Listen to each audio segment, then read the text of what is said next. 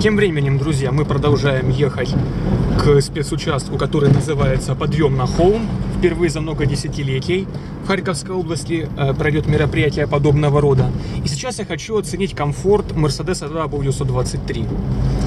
Очень удобное сиденье. Конечно, мне с моим ростом немножечко кажется низковатым потолок, но это дело во мне, никак не в автомобиле, потому что в последние трети века 20-го люди были более низкорослые, скажем так. Ну и самое интересное, что данный автомобиль является представителем купе. Автомобилей с кузовом типа купе. И что самое показательное, здесь без рамочные двери.